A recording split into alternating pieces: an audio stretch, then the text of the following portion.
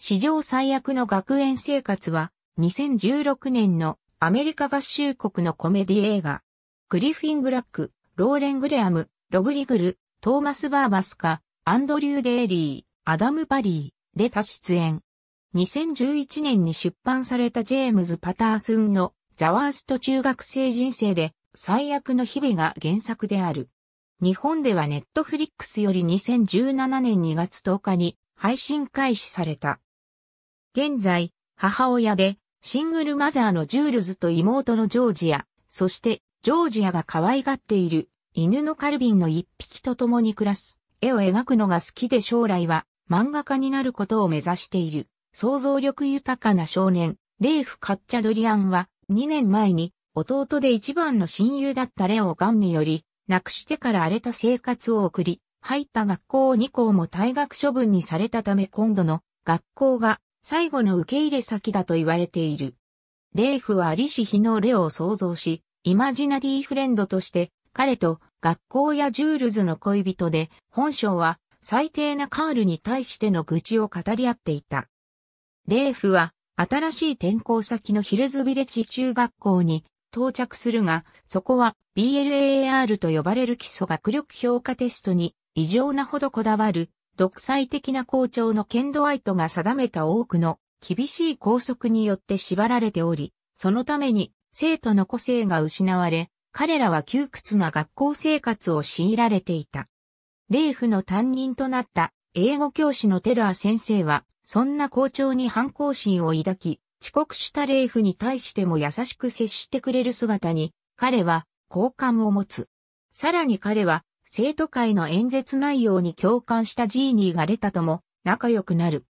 だが、ドワイト校長が話している時に校長を馬鹿にする絵を描いていたレイフは、その絵を見た生徒たちが好奇心で騒ぎ出して教頭に、見つかり長年絵を描き続けたノートを取り上げられた上に、校長によって強酸の入ったバケツにノートを放り込まれて、溶解処分されてしまう。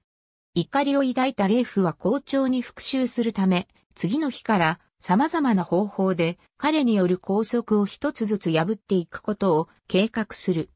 括弧内は日本語吹き替え他に、トム・ケニー、マイケル・ラパポート、ジェイコブ・バルガスがアニメ部分の声優として出演している。日本語版、スタッフ2015年8月4日、スティーブ・カーは、ジェームズ・パタースンによる2011年の小説、ザ・ワースト中学生人生で最悪の日々を原作として、クリス・ボーマンとハベル・パーマーがスクリプトを手掛ける映画を監督するとアナウンスした。グリフィン・グラックがヒルズビレッジミドルスクールの生徒で主役のレフ、カッチャドリアンを演じる。レオポルド・コートとビル・ロビンソンがプロデューサーになったことと、CBS フィルムズが配給を担当するライオンズゲートと共に海外セールスを取り扱うことが決まった。2015年11月12日、他の出演者とカラホールデンが脚本に参加することや、パーティシパントメディアと CBS フィルムズと共に、ジェームズ・パタースン・エンターテインメントが共同出資することがアナウンスされた。主要撮影は2015年11月21日に、ジョージア州アトランタで始まり、2016年1月19日に完了した。CBS フィルムズはライオンズゲートと提携し、配給を行った。2016年10月7日に公開された。アメリカ合衆国とカナダでは、初週に2822の劇場で800万から1000万ドルを稼ぐと見積もられていた。結果は、最初の週は690万ドルを稼ぎ、7位となった。資金の850万ドルに対して、劇場公開終了までの合計は2070万ドルとなり、波の成功を収めた。批評家からは様々な評価を受けた。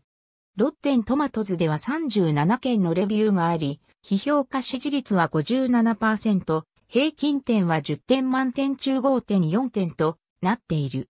またメトクリティックでは13件のレビューがあり、過重平均値は51、100で、混合、または平均の評価となった。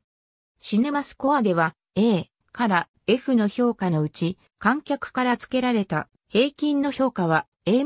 となっている。ありがとうございます。